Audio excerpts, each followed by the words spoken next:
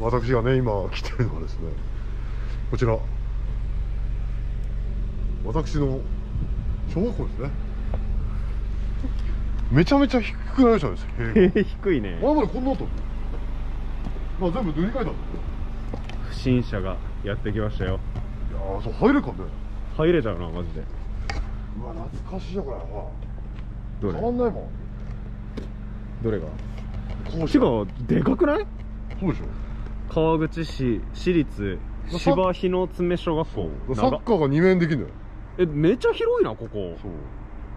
であそこのもうキックターゲットが変わってないもんね。キあれ。ックターゲットある本当だ。あれにどんどん当ててさ板当てとか壁当てとかやってたよ。キックターゲットあんじゃん。もうあの野球のあれも変わってないわ。筋肉番付がまだやる前から取り入れてるじゃん。そうそうそうそうそう。すごいな。めもう変わってないでもあの5点10点とか書いてあるあの野球っぽいあのバックのやつは変わりましたね。あの塗装はなかったですむちゃくちゃなストラックアウトな。そうストラックそうそうそう。であそこでね俺ソフトボールこうやってたんでね。うん。ソフトボールもねこうやってたんですよ小学校えで4階建4からて。ですごいね。屋上行けんのこれ？いけるいけるいけるいけるえ生徒入っていいの？入っていいマジで？入っていいんかな？昔は入れた気がする。未成年の主張あった？ああないね。あり近くのね鳩ヶ谷中学っていうのは鳩ヶ谷高校か。鳩ヶ谷高校であったんですよね確かえー、もうだってあの逆上がりにあるキック板変わってないもん。逆上がりのあの板。ああはいはいはいはい。あれもう俺が当時のあれもうボロいよあれそうそう。30年前ある小学校の思い出。やっぱねあのバスケ。あバスケコートなかってる。一応バスケリン一応あるんですけどどあのキックターゲットの横にもバスケのその片面の 3on3 できるやつがん。2個か1個あったんですよ、はんはんはん。だからもう本当何？もう夏休みっつったらあそこにプールやった後にここでみんなでまたバスケとか。プールなんかあんの？プールあそこ。あそこプールはいはいはい。そう。であの体感で。そう。だからね効果もねいまだに歌えるんですよね。いける？ゆらゆらと朝の太陽輝けば富士は遠くに青く立つもうなんて言っていいかあの合ってるかどうかも分かんないですよな朝礼台も変わってないの？あれ多分当当時から。あ朝礼台ね。うん。でここ砂場なんですよ。うん見れば分かるわ。ここでねあの めちゃくちゃそう普通に砂場だねここ。砂小沢俊介画像じゃ分かりいにくいかも。あ本当？うん。ここでね砂小沢俊介っていうね猿みたいなやつがねめちゃめちゃこれでグライダーとかややってそうなんですよね。えー、好きな子いたの？誰だっけな。小学校の時。あのー、神尾さんっていうね秀才がいたんですけど。神谷さん？あと野島さんっていうね美人がいたんです野島さん？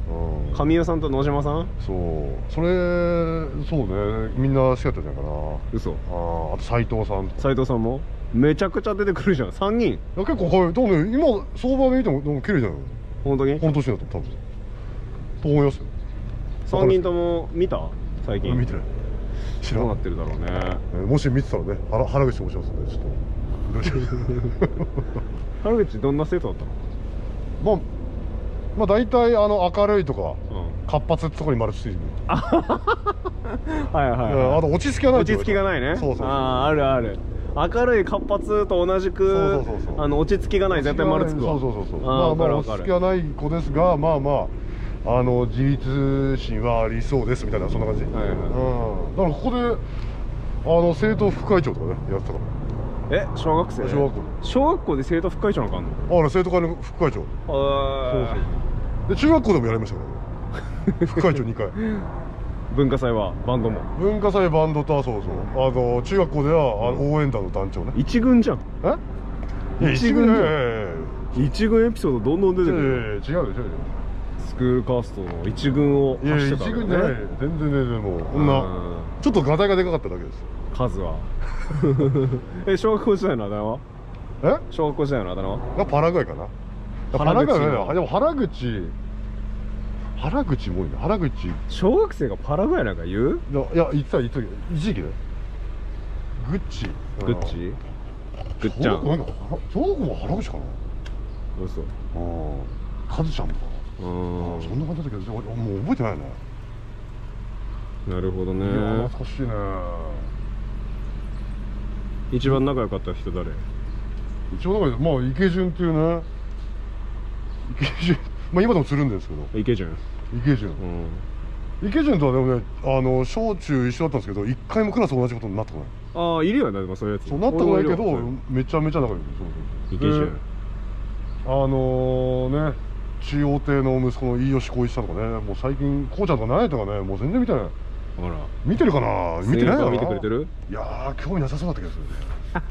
中央亭でよくね知り合いの YouTube ほど見ないもんねはないないないない。でもまさかこれが映ると思いましたよ。だってなあ確かに、ねこれが原口の母校と。そうですね。ということでね。2組しかないですよね。ああでもうちもそうだったよ。あそう、多分2組じゃないこんなでかいのに2組しかないの？じゃあ1組しかないわ。あ本当だ。あでも2の 2, 組あるわ。4の1 1年が2しかなくね？組だけど1年が2組だけど。1年以外全部1じゃない？うわ少ねえ超少ないね。そうだマジそうだ。え？全部1じゃん。全部空き教室やん。全部空き教室だ。やば。え？少子化の波が来てますね。来てるな確実に。うわちょっ怖いね。と怖い。40人ぐらいなんじゃない？1クラス。だろうね。だだって当時は1クラス40人で2クラスだったからえー、えー。教室1個丸々開けてだってだってるじゃんじゃもう4かなんかもう5の1と6の1しかないじゃんもう。やっぱあれなんだね。上級生がやっぱ上の方に行くんだそうそうそうそう。ある変あるだね小学校。のあれ1階は何の ?1 階はなんかあれ学童保育かな？なんか若葉みたいなあ感じ？とああのね福福祉福祉学級みたいな。ああそっちも含みそうそうそうそう。であの一番端っこがあのー昇降口のにあるのがあのー学童保育はいはいはい。昔私が通っててどんじゃらよくやってたああ俺も学童保育通ってたな。そうそうそうであそこ昇降口でねそうそうでガーって入ってで階段がすぐあってで給食室があって、まあ、各教室がポンポンポンとはいはいそうそうそう。だから逆サイにも教室あ教室ないわ。逆サイに教室ないわ。ないね。うん。見てる感じもうこう見てる張り紙が。こう出てる出てるだけですわ。広いねでもこの学校。そう。広くてね本当ね。なんか小学校で一番やらかしたエピソードないの？